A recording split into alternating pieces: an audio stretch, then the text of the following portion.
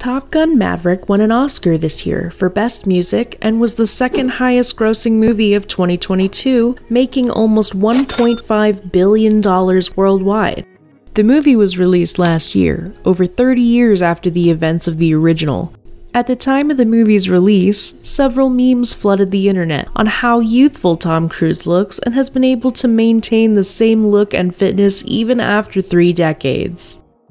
And that made me think even though Tom Cruise still kind of looks the same, the world has since changed a lot.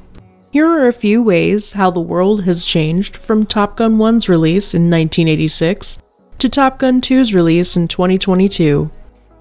In these 30 years, we have welcomed a new millennium. The world has passed two generations, Millennials and Generation Z, since the first movie. And we are well into the Generation Alpha. The world population has changed from just under 5 billion in 1986 to 8 billion in 2022. Life expectancy has since increased by nearly 10 years, and in general, the world today has more education and less poverty. The number of global women in the workforce today has increased to 50%, and female presence in major corporations is ever increasing. The world GDP has risen from 15 to more than $100 trillion. The combined land surface air and sea surface water temperature has also risen about 0.6 degrees Celsius. Deforestation has claimed more than 3 million square kilometers of the forest cover worldwide since 1986, which is nearly the size of India. These are some of the world's statistics, but if you get on a DeLorean and travel back in time, you will be quite surprised on how the world used to be. The Information Age. There is a reason why your dad struggles with the iPhone and has little to no interest in Instagram. This was the pre internet era, and people barely even used cell phones and computers. It is a completely foreign concept for today's youngsters to imagine life without a mobile phone. Indeed, if you go back, people using a chunky Motorola were the height of fashion. To take a phone out of your pocket and communicate on the go was still a novelty and something out of a science fiction movie. If you didn't have a mobile phone, you'd have to experience the delight of a public phone box to get your message across. The house phone would be shared between all family members. These were the telephones, which had a spiral cord attached to them. Oh, and you had to memorize a bunch of phone numbers. Need to get an order out to a vendor quickly? You probably had a secretary type up a memo on an actual typewriter, which you'd send via fax, or maybe you were using a telex machine. Computers, too, only came in the desktop model with a huge CRT monitor, and you could send an email through the phone line with the help of a modem. No AOL or Gmail quite yet. The internet didn't happen until 1991. Today, it's hard to imagine a time without email. For many of us, our day starts with checking our email. You couldn't Google your way to find an answer to something unknown. For that, you either had to ask another person, go to a library, or use Yellow Pages. How the times have changed. Browsing the net has become a pastime in and of itself. And who knows, maybe more people will turn to TikTok than Google in the future. Catching up with a long distance friend, WhatsApp or Messenger didn't exist back then. It was more common for people to keep in touch with each other by sending letters. Remember those? No, not emails, not texts, letters, written by hand, on paper, mailed via snail mail, with a postage stamp. Small sticky labels pasted on the right corner. The computers came equipped with a floppy drive and a capacity of 1 megabyte, and a hard drive with a capacity of 40 megabytes at best. The Windows Operating System 1.0 was launched just a year before in 1985, an upgrade from the MS DOS computing days. Apple's iconic Macintosh computers also debuted a couple years ago in 1984 that helped define what computers have become today. Console games looked very different and arcades served as de facto recreation centers for the kids. Anyone up for a game of Zelda or Super Mario Brothers? Now, because of high speed internet, you can stream a movie on Netflix or have access to music on Spotify, or just YouTube how to cook a meal. But these luxuries didn't exist back in the day. The entertainment landscape was restricted to a few channels on the television which had to be tuned in with a dial. In 1986, you either showed up to watch the television show on TV, or you had to remember to tape it with your VCR. You wanted to hear music on demand? Well, you either bought an LP or cassette with the songs you wanted, or you may listen to it on the radio's evening broadcast. Movies were fewer, and barring the occasional video rentals from video stores, watching blockbuster films from old style film projectors in the theaters was the best weekend getaway. Oh, and by the way, 80s movies hit different. Aliens, Back to the Future, Predator, Rocky, The Karate Kid, Star Wars, Die Hard, E.T., The Shining, the list goes on. An arguable but similar claim can be made on the music. Madonna, Michael Jackson, Prince were at their peak, and not to mention the golden age of rock music. Most of the pop stars of today, Taylor Swift, The Weeknd, Ed Sheeran, weren't even born then. Famous people. In 1986, Steve Jobs and Bill Gates were starting their PC journey. Jeff Bezos had just graduated from Princeton, ready to work in a fintech telecommunications startup. Elon Musk, Larry Page, and Sergey Brin were still nerdy teenagers, and Mark Zuckerberg was still in his nappies. In 2022, Amazon, Apple, Google, Microsoft, Facebook, and Tesla are now collectively worth more than $8 trillion. Until 1984, there were only nine McDonald's in the entire world. There are now at more than 38,000 locations in over 100 countries. Not long before 1986, Nike hoped for $3 million in Air Jordan sales over four years.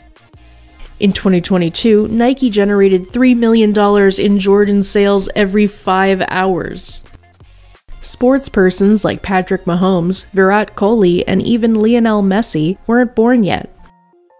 Speaking of Lionel Messi, 1986 was the year Argentina last won the Football World Cup something that they accomplished once again in 2022. The world political figures have changed from Mikhail Gorbachev, Ronald Reagan, Margaret Thatcher, to Vladimir Putin, Joe Biden, Rishi Sunak, and so on. Donald Trump was still a celebrity back in 1986, but kept his business to casinos and real estate. Though Brexit happened, England's Queen Elizabeth was still the Queen Regent at the time of the second movie's theatrical release. Unfortunately, she passed away later in the year at the age of 96. Global Landscape The Soviet Union fell, ending the decades long Cold War, and the rise of the Internet ushered in a radical new era of communication, business, and entertainment. However, the prolonged wars in Iraq and Afghanistan shifted the idea of a new democratic wave from optimism to skepticism. In 1986, the United States had a controversial and politically divisive international presence, with growing challenging diplomatic relations with China, tense pseudo hostile relations with Russia, and increasingly meddling relations with Middle East Asia. In 2022, the United States had a controversial and politically divisive international presence with growing, challenging diplomatic relations with China, tense pseudo hostile relations with Russia, and increasingly meddling relationships with Middle East Asia. I guess some things don't change too much. The end of the Cold War also saw the triumph of a set of ideas like those of the free market economy and, to some extent, liberal democracy. This cleared the way for the creation of a truly global economy, one integrated market. This has led to the rise of Asian countries in the global economy and politics. China has emerged as one of the superpowers in the last couple of decades. Virtually everything today is manufactured in China. In these 30 years, the London Eye Observation Wheel, Dubai's famous marina, Kuala Lumpur's Petronas Towers all came into being. Conversely, the World Trade Center in New York, a pair of towers were destroyed by terrorist attack in 2001. 1986 was the year of the worst nuclear accident in history at Chernobyl. Three nations since, India, Pakistan, and North Korea have tested and become nuclear powers. 1986 was also the year of the Challenger space shuttle accident. But since then, the steady advances of our science have triumphed. We saw the launch of the Hubble and the James Webb Space Telescopes and the International Space Station. We now know the universe is constantly expanding at an accelerated rate. Today, we have confirmed the existence of thousands of exoplanets and other major celestial bodies. And of course, we also have photos of the occasional supermassive black hole. With the World Wide Web, the commercial possibilities have become limitless, and convenience has greatly improved. The basic science has immensely progressed for five great waves of technology personal computers, telecommunications, biotechnology, nanotechnology, and alternative energy sustainability will become one of the key driving forces in research and technology development. Lifestyles and social trends. People used to buy magazines, and newspapers were delivered to your door, as was milk, daily. People wore baggy pants, and the floral prints and flannels were in vogue. It was an era of over the top silhouettes, teased perms, and saturated colors. There were years of puffed shoulders and power suits, flashy skirts and spandex leggings, bell bottoms, leg warmers, and voluminous parachute pants. Tattoos were rare and rather unfashionable. Smoking was still pretty common. Now it has changed to vaping. Life was slower back then, and people were more patient. If you had to go for a movie, you couldn't pre book, and so to guarantee your ticket involved the art of queuing. The majority of professionals did daily commuting to work. Post COVID, a far greater percentage of professionals are reported to be working remotely, most or all of the time. Most people hailed a taxi with a wave of a hand. Now people get an Uber in an instant with a couple of touches of their smartphones. If you were to meet someone, you would have to just wait patiently until the other person showed up. With the ubiquitous connectivity we have at our disposal today, this simply doesn't happen anymore. We drop a let me know when you're on your way home text instead of sitting around. Maybe 36 years from now, we can look back again and be happy to see how the world has changed. Where will we be then?